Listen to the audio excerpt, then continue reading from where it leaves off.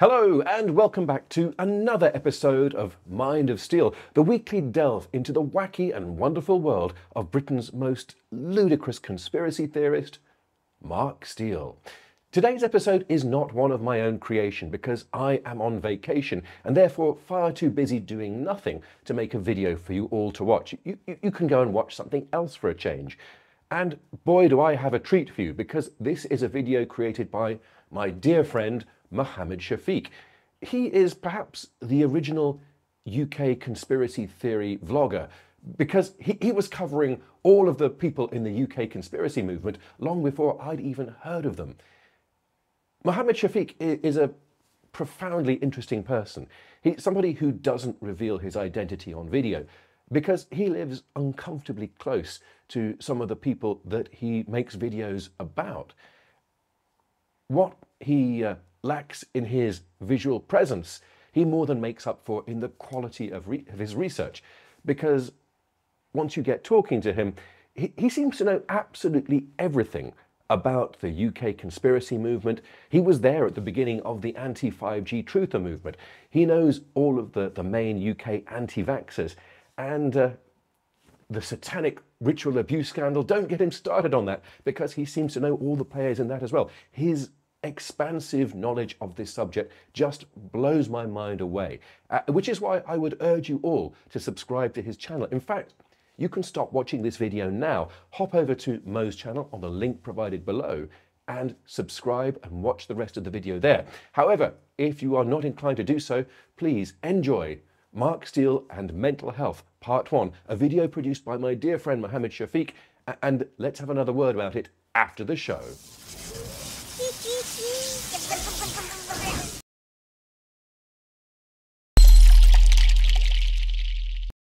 Mad Mix super stalkers behind the Mad Mix expose that are infatuousi and Brigade 77 operatives, BBC operatives, and Satanist cult members learn their signs so you can identify the Kitty Torture Killing Club and its members.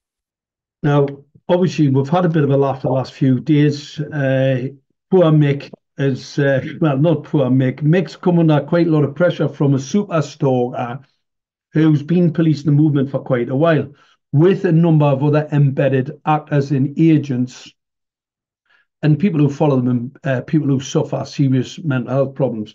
Say that again. And people who follow them, uh, people who suffer serious mental health problems. We interrupt our program to bring you this important message. Gateshead conspiracy theorist who torched 5G mast was suffering severe mental health problems. Newcastle Crown Court heard David Patterson, who has schizophrenia, was suffering from a mental disorder at the time and had been adversely influenced by the material. He had read online delusional online theories about the dangers posed by 5G. Technology sparked the drastic action and arson attack in Wardley Garage on Sunderland Road in the early hours of June 22 in 2020. He set fire to one of the masts above a garage causing between £100,000 and £150,000 damage to the mast, and around £15,000 damage to the business. Patterson had stopped taking his antipsychotic medication intended to kill himself. But an officer persuaded him not to, the court heard, after reading mental health reports on him.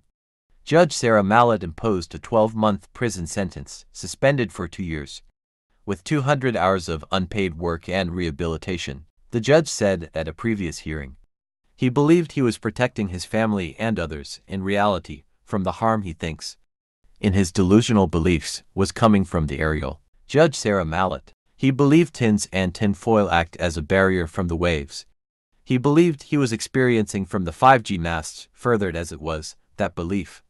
By material that is accessible on the internet that, frankly, feeds beliefs that are widely considered and accepted to be completely delusional. Prosecutor Alec Burns said he admitted he set fire to the mast, saying because it was 5G and he believed it was dangerous. Where Burns said it had been difficult to repair the mast, and it will have to be replaced, which will cost between £100,000 and £150,000.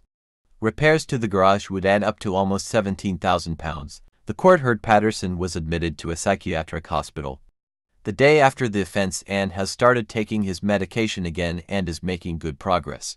David Patterson added that he is aware conspiracy theories are not good for his mind and said, I just want to spend lovely time with my lovely friends and family. David Patterson is not a lone case. There have been many others that have faced stints in mental health hospitals, section under the Mental Health Act, and a fair few that have, have been given prison sentences after watching 5G fear porn nonsense on the internet, pushed by Mark Steele. Another such case is that of Michael Whitty from Liverpool. Michael Whitty, aged 47, carried out extensive internet searches about the dangers of 5G before he set fire to the equipment box of the Vodafone mast in Kirkby, Merseyside, Liverpool. 5G conspiracy theorist Michael Whitty, father of three, was jailed for three years for arson of a 5G mast in June of 2020, taking a look at the stats over on Social Blade from Mark Steele's old YouTube channel which went under the name Anthony Steele. We can see at the start of 2020 the channel Mark Steele was running to push his 5G fear porn nonsense had a dramatic rise in views and subscribers, but towards the end of May of 2020, the YouTube channel Mark Steele was running was terminated for a violation of YouTube's terms of service. But by then, the damage to many vulnerable mind had been done by the fake weapons expert Mark Steele with his killer 5G nonsense. Now let's get back to this case about Michael Whitty. Judge Thomas Teague QC sentenced Michael Whitty to three years imprisonment saying there had been a high degree of planning and premeditation. There was use of firelighters and in the sense that the aim was to put the mast out of action, there was intent to cause very serious damage to property. Simon Christie, prosecuting, said three people had been seen running away from the scene of the blaze in Kirkby, Merseyside on the 4th of April 2020, but two had not been traced, the arson was one of 13 recent attacks on phone masts in Merseyside. When Whitty's home, on Perimeter Road in Kirkby, was searched later in April officers discovered firelighters similar to those found at the scene. Analysis of his phone showed he had carried out searches on 5G and engaged in discussions on chat groups and had photos and videos of other phone. Mr. Christie said Whitty believed he targeted a 5G mast although it was not clear if there was any evidence to confirm that was carrying any 5G technology. Detective Inspector Steve Ball said, More than ever all members of the public are dependent on technology, including their mobile phones, to keep in touch with loved ones. People may also need their phone lines to contact the emergency services when they are in need and stupidity like this could put someone's life at risk. Ben Ryder, from Merseyside Fire and Rescue Service said, This is a clear message to those who would put firefighters and the public at risk by setting fire to phone masts. Your actions have very real consequences for you. There is no scientific evidence of any link between 5G and coronavirus. Arson is a very serious crime, and we will always work with our police colleagues to seek justice. Andrew Alty, defending, said Whitty had a genuinely held view about the potential dangers linked to 5G masts, adding, The view may or may not be correct, time will tell. He acknowledges his response was wrong and disproportionate. Judge Teague said Whitty had 29 previous convictions, including for assault and for possession of a firearm, but none for similar offenses, he said he believed Whitty had shown genuine remorse and his charitable work showed a positive side to his character. The case came amid a rash of attacks on phone masts and telecoms engineers linked to the spread of baseless conspiracy theories linking 5G to coronavirus and other harmful health effects.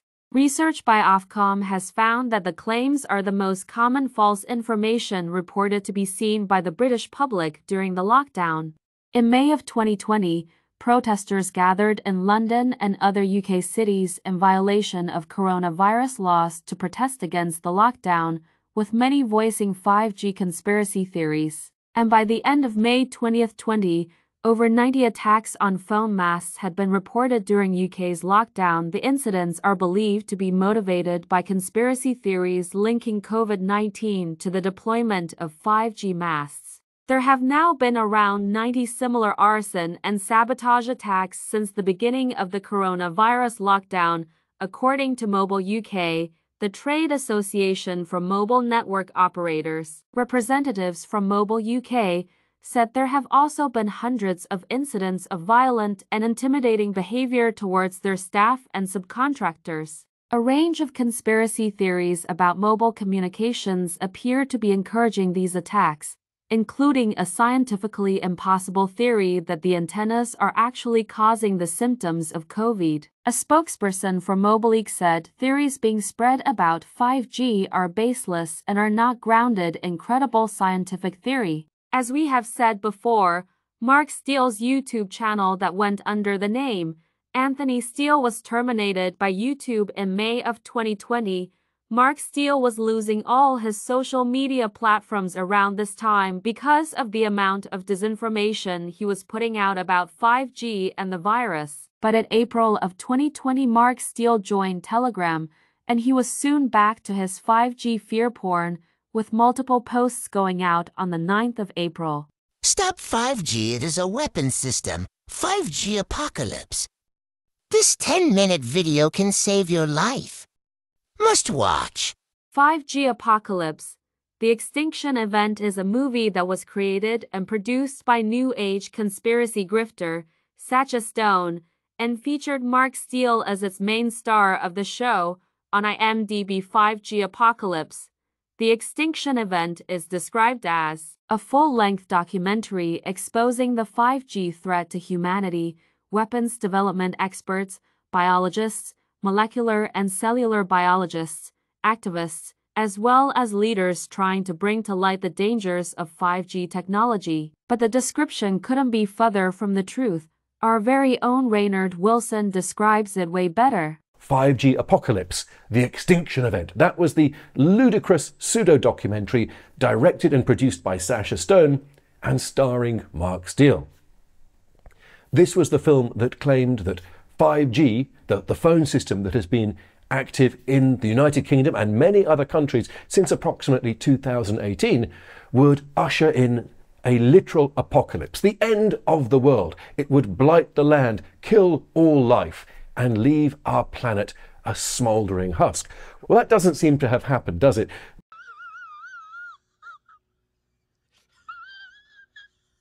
Was never about health or, or well being it was always about one thing. It was about selling products because the leaders of this movement knew that if you can make enough people afraid of something, you can sell them products to mitigate a thing that they weren't previously afraid of. And that's exactly what's happening Mark here. Steele not Ani used the fear porn movie about 5G to scare people into burning down phone masts. It was also used to push a massive scam that used the fear of 5G technology to fleece the gullible out of $350 by offering a solution in the form of a USB stick called the 5G BioShield. Found an incredible solution. You're referring to this, and that, that this is a microcomputer which is throwing out a shield. Um, we're told it's about 40 meters in diameter um, we've got independent uh, labs in Switzerland and Germany doing testing on this actually this week. Uh, but the point is that this is creating a quantum shield. Raynard Wilson has made a brilliant video explaining the relationship between the fear porn movie 5G Apocalypse, Mark Steele, and New Age conspiracy grifter Sacha Stone and the USB BioShield scam, which will be linked in the description and well worth watching. The USB BioShield was picked up on by the BBC's news technology correspondent Rory Cellan-Jones. Really torn. This 5 BioShield USB key comes recommended by a member of the Glastonbury 5G committee. But should I get one for £283 or three for £799? Rory Cellan-Jones, the BBC's news technology correspondent, soon got his hand on the USB device that was being sold at an extortionate price. Rory was soon testing the device that claimed to protect from 5G and claimed to contain quantum technology. Pulling apart a 339 pound anti 5G USB stick to find the quantum tech inside. Spoiler I can get you a £5 device which will do as good a job. As we all thought, the USB device that was being sold at £239 as a cure all protection device for all the 5G fear porn pushed in the movie 5G Apocalypse was just a 128 megabyte USB drive with a sticker on it. There were many people involved with the 5G BioShield scam. There was Jock Bauer and Lyja Lakicevic, the inventors of the 5G BioShield, Sacha Stone who marketed it, using the movie 5G Apocalypse, the extinction event as a backbone to drum fear into people of a new technology. And there was the former doorman and fake weapons expert Mark Steele, who was the main star of the movie 5G Apocalypse, who was portrayed as some sort of technology expert with his breakdown of a street lighting node that wasn't even 5G. All of these people worked together to play on the mental health of vulnerable people to push a scam product that was the cure all for all the fear porn about 5G and radio waves in the movie 5G Apocalypse if it wasn't for the BBC News technology correspondent Rory Cellan Jones getting his hands on one of the devices and having it tested, the scam product would have never hit mainstream media. But as soon as it did hit mainstream media, Trading Standards launched an investigation and deemed the 5G BioShield a scam. Now that concludes part one of looking into how Mark Steele, the fake weapons expert, infects the minds of vulnerable people and affects their mental health with his 5G fear porn. Be sure to look out for part two, where we will look some more into how Mark Steele affects people's mental health. Thank you very much to Mohammed Shafiq for another excellent video. And once again, you can subscribe and like all of his videos, hop over to his channel using the link provided below. I strongly recommend that you do that. All of Mo's work is well worth your attention because of all the people I know who research and make videos about UK conspiracy stuff, he's probably got the most expansive knowledge. I hope you've enjoyed it and I hope to see you all again in one week's time for uh, an original Reynard Wilson episode of Mind of Steele.